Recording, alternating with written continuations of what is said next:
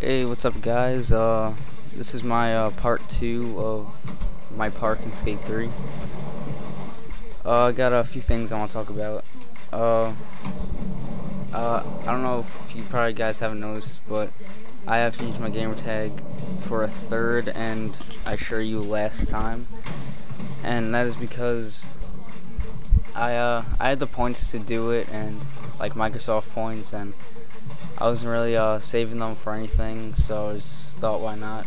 Because uh, I didn't really like my last name. I thought it was kind of stupid and pointless, but uh, but this third name I know I'm gonna want to keep, and uh, I'm not gonna I'm not gonna explain why, but I can just uh, I'm like 100% sure that this is uh this is gonna be it for you know for probably the rest of time. So.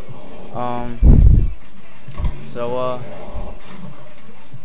uh, in my, uh, part one of this, like, when I made the first one, I didn't expect to make second one, but the reason for the first one is because just when I got Skate 3 for the first time, I, I, uh, I didn't know you could, like, make your own park, so, like, I thought, I, like, I thought it was really cool, so I didn't really put much time into it, but I just put some stuff in it, uh, just made a video of it.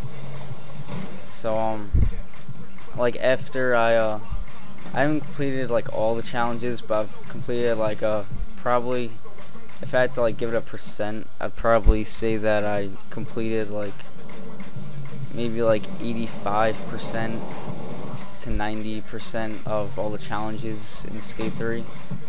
So, you know, I, like, I really wasn't into park making all that much, but after I like unlocked everything through like me playing this game, I hadn't like realized it until I actually looked.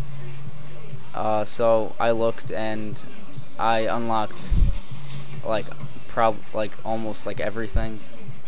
So I decided to just put a bunch of it together and and uh, yes, this is like the last park you you will unlock and uh, I didn't like reset everything. I kept a, I kept some stuff and just added on to it and changed all the colors, obviously.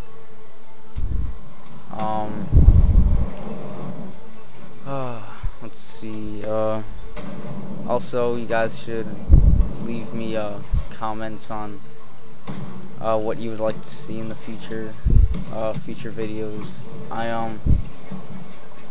Uh, I know the Crackdown 2 video was kind of cut short, but, uh, you know, I, I just don't think I should really, like, make those videos. I, um, I have a lot of ideas for Skate 3 videos in the future, and, uh, I'm also probably to start making Call of Duty videos again, so you guys should look forward to that. Um, uh, that's pretty much all I had to say. Uh, we guys should definitely, uh, give this a like rating, or, you know, just, actually just give it whatever you think it deserves. Uh, but, preferred like rating.